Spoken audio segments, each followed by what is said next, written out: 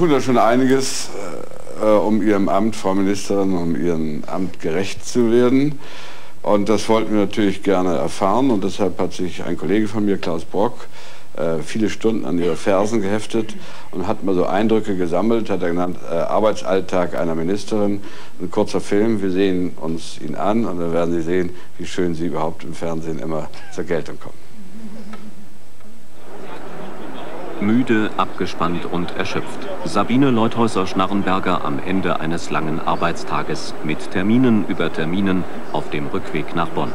Der neue Alltag der Bundesjustizministerin, nicht selten 16-Stunden-Tage mit Hetze und Stress. Das ist aber doch jetzt schon erledigt, ne? Ja, brauchen Sie die Liste? Bonn, 8.30 Uhr, Kabinettssitzung im Kanzleramt. Nach Aktenstudium und Besprechungen mit ihrem Stab der erste offizielle Termin für die liberale Aufsteigerin. Kurz vor der Sitzung noch ein vertrauliches Gespräch mit ihrem Parteivorsitzenden Otto Graf Lambsdorff. Fleißig, sachkundig und konstruktiv. So beschreiben Parteifreunde und Koalitionspartner ihren Arbeitsstil. Noch ist alles neu für sie in der Bonner Führungsetage, aber sie ist bemüht, Unsicherheiten zu überspielen.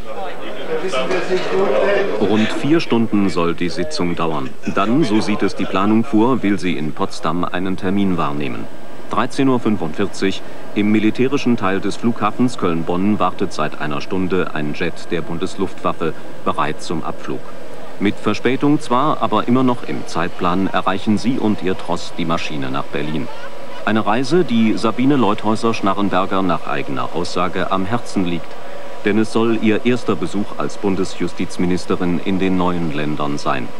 Vor der neu gegründeten juristischen Fakultät in Potsdam will sie über den Aufbau des Rechtsstaates im Systemwandel referieren.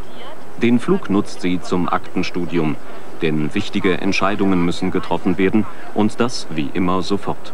Und auch der Text für den Vortrag in Potsdam wird von ihr mit Unterstützung von fachkundigen Mitarbeitern überarbeitet. Der Juristin bleibt nicht viel Zeit zur Vorbereitung, denn dringende Terminabsprachen für die nächsten Tage müssen getroffen werden und die Koordination ist oft schwierig.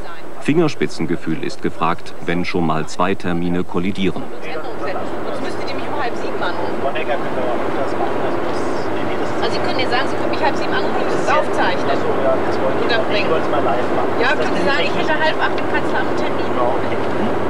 Mich da rausholen ist natürlich auch nicht so toll. Das lohnt sich auch gar nicht. Du wärst nur, wenn es so gegangen wäre. Ja, nee. Zwischen zwei Tassen Kaffee oder so. Aber nee, Nee, ja, dann, lohnt dann wär's nicht. Ja.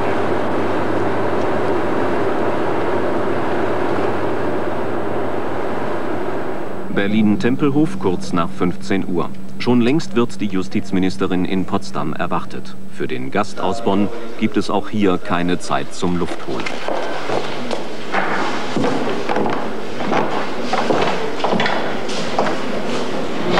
Ja, meine Magnifizenz, Spektabilität, Herr Präsident des Bundesverfassungsgerichts, Präsident des Europäischen Gerichtshofs für Menschenrechte, meine Herren Minister, meine Damen und Herren, liebe Studenten.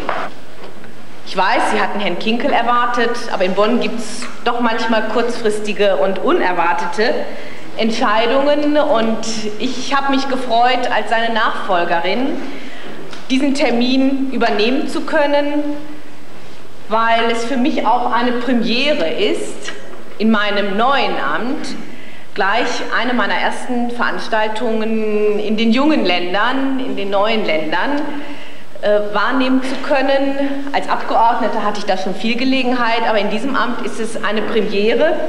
Und das freut mich, dass da schon die Gelegenheit in den ersten zwei Wochen meines Amtes sich gegeben hat.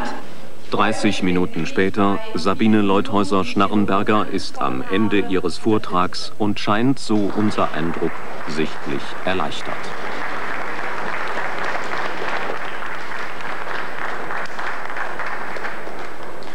Die Ruhepause ist nur von kurzer Dauer, denn vor dem Rückflug muss die Ministerin noch schnell ein dringendes Telefonat führen und das hinter verschlossenen Türen. 19.10 Uhr zurück in Köln-Bonn. Über eine Stunde hängt Sabine Leuthäuser-Schnarrenberger jetzt dem gedrängten Terminplan für heute hinterher. Aber in den vergangenen Wochen, seit ihrer Ernennung zur Justizministerin, hat sie sich an das Bonner Tempo gewöhnt. Pausen gönnt sie sich nicht. Der Weg führt vom Flughafen direkt in ihr Ministerium.